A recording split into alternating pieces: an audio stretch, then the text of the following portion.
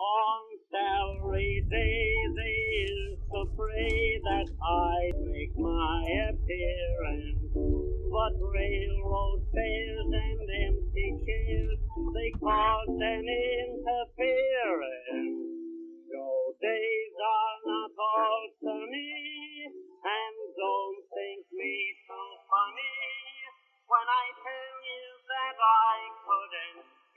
even pay them with state money.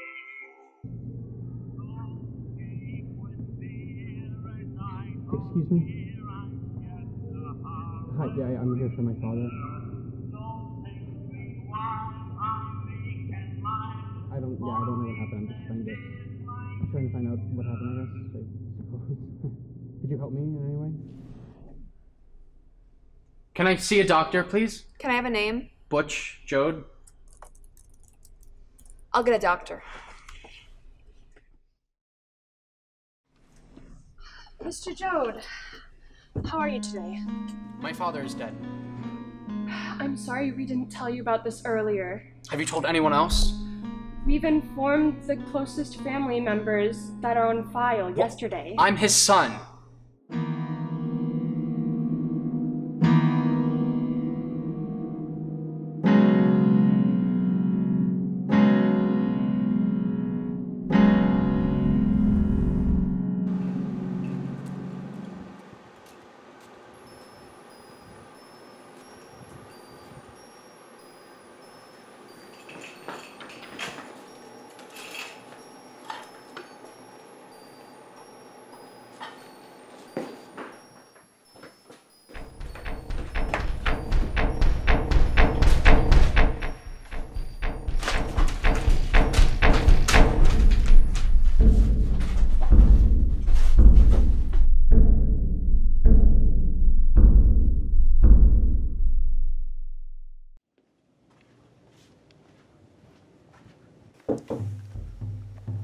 Come in.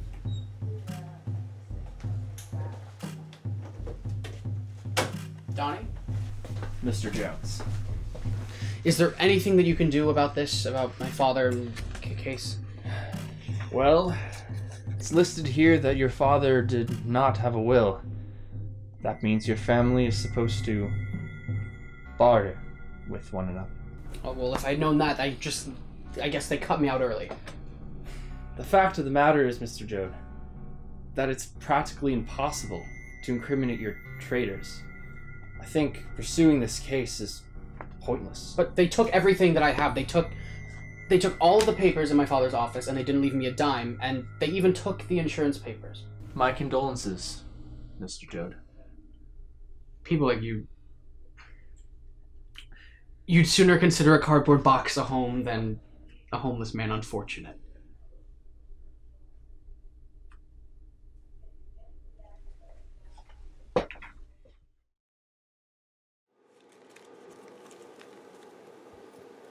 Well, that's that. I'll be leaving for the rest of my time. I'll just drive till my wallet runs dry. Where to? Maybe I'll find some rest at Ludlow. Some warmth and some sleep's all I need, I'm sure. Or maybe I'll find out if there's any other places that won't charge me.